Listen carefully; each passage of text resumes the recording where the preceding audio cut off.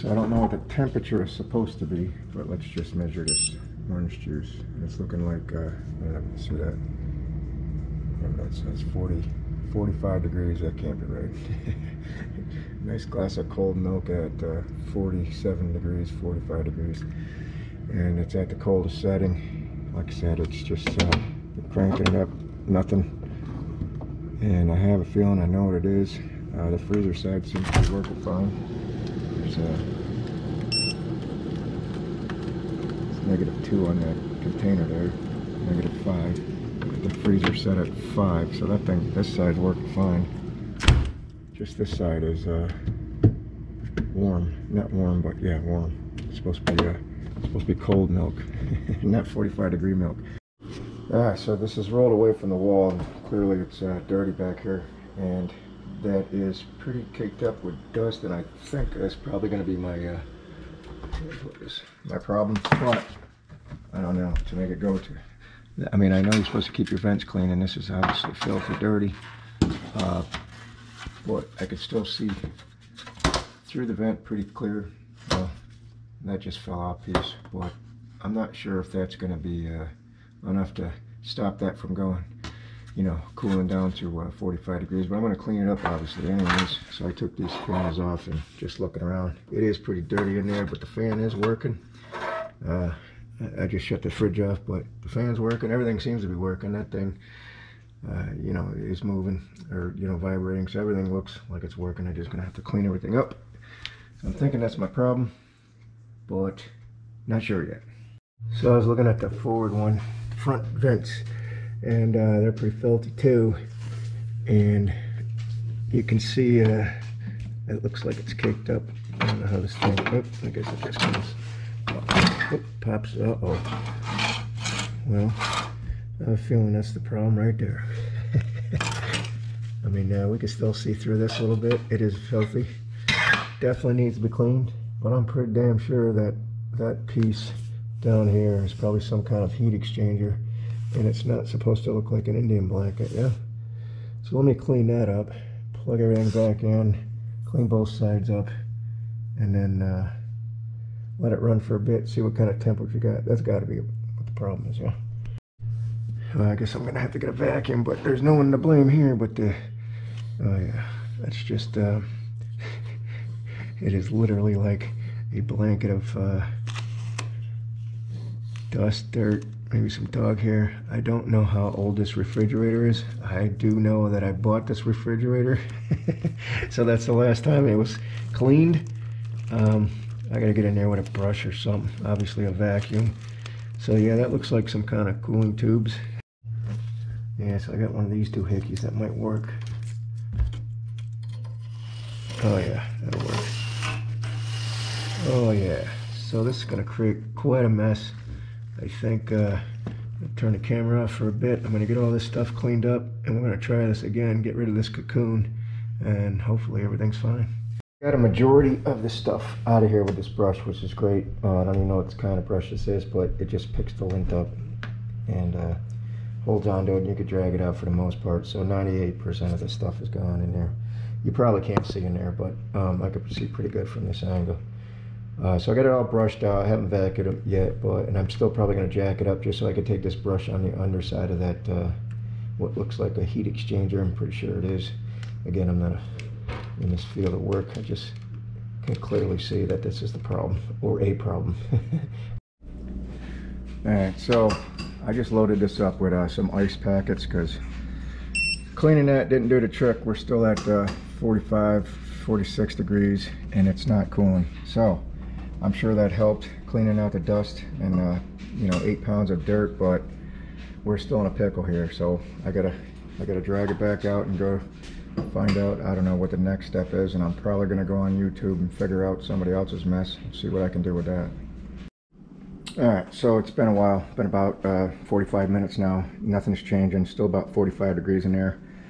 Uh, so I went on the old, good old YouTube there, and I think I've got some direction. So there's some pieces to the puzzle. The, the refrigerator is uh, not cooling as it should. Like I said, it, it seems kind of warm in there, and it is 45 degrees the freezer seems to be working fine. So I'd like to give credit to uh, whatever channel I was on, but I was rifling through so many because I, I, need to do this in a hurry before everything spoils. And uh, I came up with, um, so the refrigerator part is what I thought was wrong. And I, of course, cleaned out the coils, uh, what I believe is a heat exchanger coil and in the back there thinking, yeah, that's the problem. But most things have a cause and effect, right? So uh, two a couple weeks ago, I just emptied this freezer, just got the contents out because I'm gonna I'm gonna make a few moves here. But a couple of weeks ago, the missus said the freezer seemed awful warm and it was wet and drippy. And uh, she called me at work, and then she called back about an hour later. Says, "Never mind, I got it." She she said she said she she turned up the uh, the freezer part, the the uh, thermostat here, and it solved the problem. So I didn't think much of it at the time because maybe it was, I don't know where it was setting. It's on five now, but I don't know where it was uh, when she called. But you could see the, the brown thing here that they're supposed to be, well, I guess economically best position is there. But whatever she did, it fixed the problem, so be it. Uh, and it probably didn't because, like I was saying, cause and effect. Because those things haven't been cleaned in 10 years, it probably overworked things. And uh, like I said, I, am going to make a few moves here to see if I'm correct, but the cause was the dirty coils or dirty heat exchangers. The effect was it affected something in the freezer, which I just learned on YouTube. The freezer feeds the refrigerator. So let me get my tools back out because I slid this thing back in here thinking, yeah, it's got to be the dirty, the dirty going on back there, but nope. Uh, so I'm going to get my tools back out and I think I'm probably the same tool. I don't know what size those uh, those bolts are, but that's the only tool I took everything apart so far. So let me get these uh, these racks out here because I'm going to be taking this thing completely down to where I can see the, uh, I don't even know what it's called, condenser, you know, there's some coils back there. I'm assuming that they're frozen solid. All right, so with the ice maker removed and the shelves, this is what it looks like. And my plan is to take all these bolts off to get everything exposed. Not sure if I have to take this ice maker off, maybe to get this mechanism off. I don't know. This might have to come off. I don't know. I'm just going to start taking things apart and investigating. And these, uh, I don't believe these would have to come off, but maybe they do. They're Phillips, it looks like, because if I have to pull this panel back, I don't know if it's going to squeeze by there. Probably not. So I'm just going to go ahead and take, start taking everything apart. I just want to show you where I'm getting at, but that's filthy down there, and I don't know what that is. Some kind of grime. But now I'm looking, I can see that it's completely caked up with ice. And I'm thinking that's probably not supposed to be caked up with ice. And all this dirtiness going on down there, uh, it's probably because it just ain't been cleaned in 10 years. But I see a lot of rust forming, so it does look dry though. So I'm assuming still something's clogged. So I got to get to the bottom of it. So that's the next move here, and I got to hurry because I don't want anything spoil in the freezer, even though I put ice box in there. So I'm not going to film the actual taking this apart, but I am just telling you this is what it looks like right now. In about two minutes, it's going to look a little different. All right, so this is what we're looking like now. That one panel removed, and now we can see the fan, which I know works. I could I heard that earlier, um, and I don't think it's got anything to do with it. But this is what it looks like with this panel removed. It's just the four bolts and the electrical connector comes through here. You just pinch the sides, and they pop through. And uh, this tube that was on here is uh, over here. Same thing. You just uh, think yeah, I think it's this. Yeah, oh here it is. You just push on this the way that's plugged in, there's no bolts to it. Just push on the bottom. I think this is on the bottom, bottom or push or pull, whatever I did, came right out. And this was in the top right corner, just the one bolt. Took that off first before I can remove this, and I believe you have to remove this because it overlaps uh, the bottom one. So I'm gonna have to get rid of this light mechanism. It probably same thing. I mean, so far it's just been one tool and using your hands to take this thing apart, but it looks like it's just the two bolts left might even have to remove the, uh, the light. Gotta get a light in here. Yeah, I could probably just unplug it from right there. Or, I don't know, we'll see what happens. But it, I can see this whole thing is frozen back here. So, let me keep going. Alright, so the second panel's gone. Uh, the light was easy. I just unplugged it from the back. Took the uh, lens off. So this is what we're looking at here. And I have a feeling this is what the problem is. But what I really thought it was, based to this drain down here, I thought that would be clogged but it appears to be open. But I'm going to get rid of all this ice, uh, clean this up, and then we'll go from there. I think it's just locked up solid with ice, and it's not allowing to do its uh, function, right? I don't know why the defrost doesn't work, but I'm going to have to locate wherever the the heater is for the defrost and uh, test that. So clearly the defrost function on this is not working. And uh, like I said a couple weeks ago, the wife said the the refrigerator, the freezer part here was uh, warm and a lot of water seeping out. You know, the walls, everything was uh, leaking. So maybe be it's got something to do with it. I don't know. But let me get this ice off of here. All right, so I got things defrosted. Now I can see things. And uh, that paint there, that's just paint. Those things that look like potato chips. so I don't know if it's because I got hard water or whatever caused that to flake like that. But uh, So now I want to see if this why this coil is not working and uh, everything looks okay because this uh, thermostat up here and I'm not sure what that gray packet of C4 is for but everything looks fine in here other than this mess I got going on. So I have to um, get this thing into defrost mode and see if this thing's actually working or maybe look up some stats and unplug something to see what the resistance is supposed to be but that's my next move to see why this thing is not defrosting and uh, some things I'm learning on YouTube is that uh, there's a timer involved, which I believe is in the refrigerator part of this. And uh, there's a way, uh, possibly, I don't know, you know, what the model I was looking at on YouTube, but that we can engage this uh, defrost mode because it's not like your old grandmother's uh, refrigerator that actually has the defrost button. These are automatic. So we're going to have to go in here and I think it's probably, uh, you know, the timer up in here somewhere because I'm, I'm now I'm thinking it's either a timer that turns this, uh, as I'm learning, that turns this uh, coil on, like an oven coil, to defrost this. Clearly this thing wasn't defrosted in quite some time. And uh, that's my next move. All right, so when I was under there cleaning, I remember seeing this uh, tech sheet under here and uh, I didn't grab it down. I just opened things back up and grabbed it now because this uh, you know, as far as this, uh, why it's not defrosting, uh, like I said, I can do a check, a resistance check to see if the coil is good. And uh, then I was thinking about the thermostat there, this, this, the doohickey here, but everything looks good, and I don't want to start getting in anything. So then the next thing, I was like, how do you defrost this thing to see, you know, then you could check your coil, just touch it, see if it's getting hot and because uh, I don't want to get into the timer or the adaptive timer, whatever they call it, there's no way to manually just go to defrost right here. So I was just looking through this uh, tech sheet, and uh, apparently there is. So, where was it? Adaptive defrost control. So it's automatic. Uh, it tells when you know when when to defrost and when not to. So look, apparently every four hours the thing's supposed to come on and off. Uh, but then I saw to force defrost, turn cold control on and off three times within six seconds. A forced defrost is immediate without delay, regardless of the cold, you know, so the, the, the coil should get start getting hot immediately. Uh, so that's what we're going to do now. I got to plug the thing in, and uh, then we're just going to check, see if the actual coil is good. If the coil is well, let me, before I get ahead of myself, let me, let me plug it in and try that first. So, actually this ice is working pretty good. It's keeping things cool. So how to uh, manually force defrost mode so we can look at that uh, coil down there is just um, freezer mode. Go up here and go between cold and off three times within six seconds.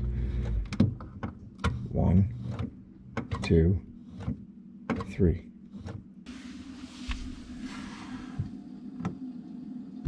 That is stone cold still. So there is a uh, thermostat defrost uh, resistance uh, mode. So I can get the, the ohm meter and if it's above 42 it's just supposed to be open and below 12 degrees Fahrenheit it should be closed. So that could be an easy uh, check to do. Thermostat we could check. We can take this uh, clip off and do that resistance check because it's clearly above 45 now. It should be open. All right, here's where I'm at with this. So this uh, circuit board lives in uh, in the fridge there. I'll show you in a second. Uh, I didn't open it up yet, but the wires come through to the freezer. And uh, so there are some checks here we can do, which I already did. And I'm kind of glad oh well, I'm, I'm not 100%. I got to do a few more checks. But L1 to L2, that's obvious. You know whether the the, the refrigerator works. It's just the heating element doesn't work. So there's some things we can do to check that. So coming from this motherboard, or I say motherboard, the circuit board for the uh, defrost, uh, we'll call it the timer, defrost timer. In this case, it's not a manual deal; it's a circuit board. But from there, sending the signal every four hours or whatever it is, you should have uh, so CC to L2. CC is blue and L2 is white. So the blue wire and the white wire, and I'll show you in a second, the fridge, uh, should have line voltage present when uh, basically when the thing's in defrost. And we can put it in manual defrost. And I'm, I just did the measurement and it does do it. So, so prior to putting this in defrost mode, CC to L2, blue and white does not have any line voltage on it. When you put it in defrost mode, it does have line voltage. So it tells me that the circuit card, the uh, ADC card, whatever you want to call it, the defrost control, is sending the signal. From there, uh, you know, so now I'm in between whether it's the thermostat or the actual heating element. And I'm thinking it's a thermostat because I went from stat to L2. The line voltage should be present in defrost mode, and it's not. So that should tell me right there that it is the defrost, which stat to L2, what is that, stat? Oh, my glasses, and stat is orange, yeah, orange and white wire. The, the thermostat is orange, and the white wire is, uh, you know, the common, and then uh, that should be present. There's no voltage present when the thing is in uh, defrost mode. So, I'm thinking it's the that little $15 part. Well, here's what I'm going to do. Here's what I was talking about too. Let me show you in here. So I made some checks. So it's starting to cool down again. And this refrigerator will work for a while until this uh, thing freezes up again. But so this is this these wires I just unplugged them, but that goes to the coil. So what I'm going to do is I'm going to put direct 120 on this uh, heating element, and if that heating element works, then it narrows it down to this guy, this little uh, thermostat deal. And I made the measurements here. That's what all those poke holes are for, because I don't want to cut it yet. But the measurements from here, uh, orange to well, it was orange to white. So I'm leaning towards I say leaning, it's got to be this guy, even though there's no physical evidence of this thing being, you know, broken or, or whatever. Uh, and I'm also going to do a check on that. So I'm going to uh, put power to this, see if that element heats up. I'm also going to put power to this, see if I can hear any uh, switches like a solenoid going back and forth. And uh, if I don't, you know, I'm 100% sure it'd be, it'd be this. I'm almost 99% sure it's this right now. But let me do them final checks. So I'll cut these four wires and then test the heater core, which is important because if it's a heater core, that's going to be an issue. This is a, this is going to be problematic to fix. Not, you, you know, problematic for me because by the time I get the heater core or the heater element, who knows how much that is. I'll probably just buy a new fridge at that point if it is the uh, element, but I don't think it is. I'm almost 100% sure it's this based on my measurements. So that's how I'm going to check these. So I, am going to clip these, uh, give me enough room to, uh, you know, install the new one. So that's that, and then uh, the orange. Almost had it. There's some new dikes here. So I'm going to test that, see if that. Uh, Some, uh, I'll put 120 volts right to it, or I'll look up, see what it takes. I think it is a direct, direct uh, input, 120. See if this makes any noise. If it doesn't, it's that. And uh, I'm also going to cut these two and repair them later, so I can test the element just for, uh, for me as far as I want to be 100% sure that this element works. So I'm going to use, I'll strip the wires here and uh, I have a cord that I'll plug into the wall, pigtail them together, plug it in, that thing should start heating up, right? All right, so what I've got here is uh, just a lead cord uh, and uh, the pigtail just wired right to 120 and I'm going to plug it right into the element. This goes right into the element. If the element gets hot, then obviously it's this fella here. I'm going to go plug this cord in.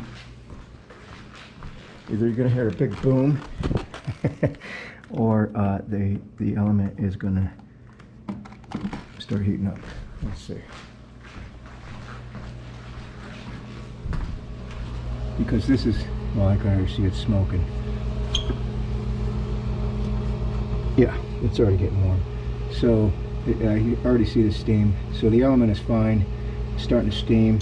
This will melt all the ice. Uh, so I know the element's good and this is the hard part. The, the, the more expensive part and the hardest part of the job, whether out of the three, the circuit board, this element, or that little thermostat switch. So I'm glad it's a thermostat switch. I'm gonna go unplug this because I gotta get this food cool again. All right, so there's one last check I wanna do and I gotta be careful on this part because um, the thing's still plugged in. So I wanna check this piece, right? And uh, so, let's see here. Let's not touch the two together. So I'm assuming, because I don't know, uh, that uh, this thing is going to click or do something, right?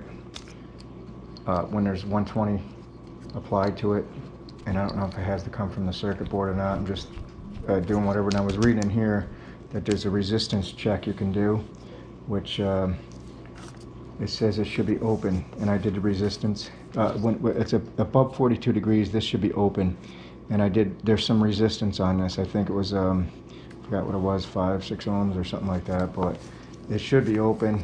And then when it gets below seven degrees, something like that, it should be uh, closed. Of course, I'm not gonna put it in the freezer because I know this is the part, but I just, do, I wanna apply power to it just to see if this thing uh, does make a noise. So, I didn't hear anything. I got a washing machine going, but I don't hear anything clicking. I don't know if they're supposed to click.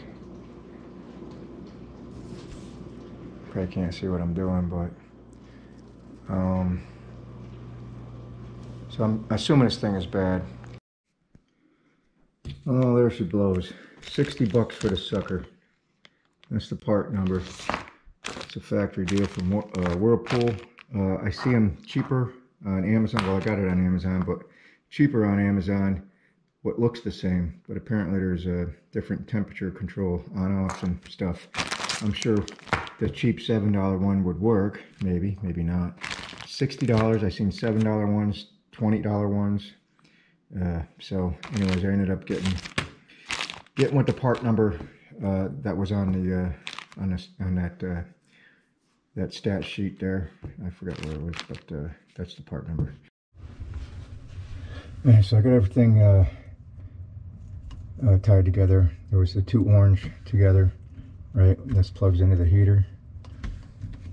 And uh, probably should have been a good idea to turn the turn the fridge off. I gotta have, use two hands, but I wired it with the fridge on. Nothing went work.